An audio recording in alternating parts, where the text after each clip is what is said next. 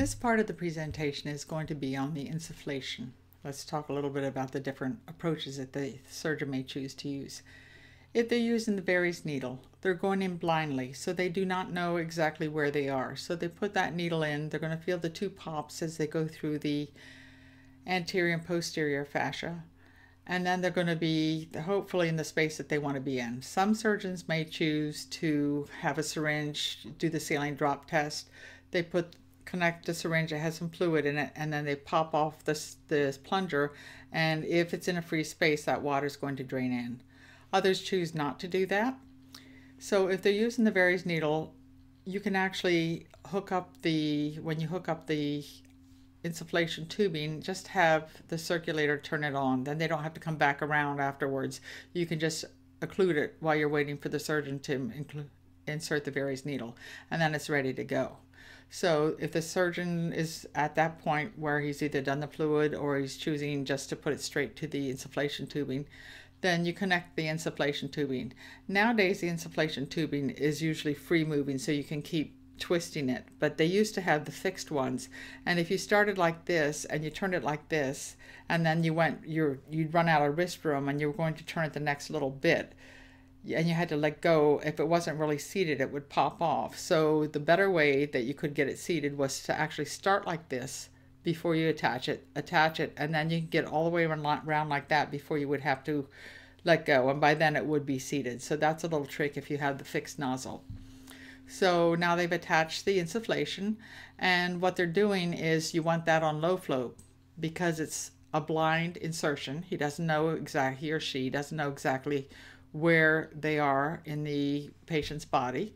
So they put it on low flow and then they watch the flow. If it goes, the pressure goes up really quickly, they know they're not in a free space because it shouldn't do that. They're into the omentum or some part that it's in a closed cavity space. So they know that's not where they want to be. They would either advance it a little bit or pull it back a little bit and then watch to see if the pressure drops.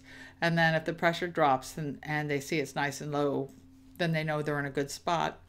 And they watch it go up slowly. And then when they're satisfied that yes, they're in the space they want to be in, then they turn it to high flow. Now you also have the direct visualization, which is either the Hasson or one of the trocars that has the visual insert that the camera fits in. So if they're doing the Hasson and they're making the, the manual entrance and you're pulling back with your S retractors so that they can see the fascia and then they're putting a stitch on either side of the fascia and you're pulling back on which side, ever side they're putting the stitch in, then they're tagging it and then they're putting in the Hasson and wrapping those stitches around the little posts that they do.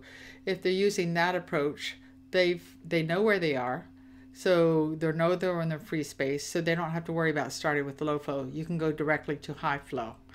The same thing applies if they're using the VisiPort. They can see as they're going in with the port and pushing it in, and that's on my website too. I talk about the trocar insertion. So if they see they're in the good space, then again, they can start out with high flow. Now, what happens if during the case they start losing pneumo? So what are the things that you're trying to troubleshoot why you lost your free space? Is there a kink in the tubing? Is it disconnected somewhere, either at the, on the field or at the console? Is there a leak somewhere? Are one of the vents open? are you suctioning? If they're suctioning, if the surgeon's suctioning and you're operating the camera, you're going to be dropping your hand as the free space is losing.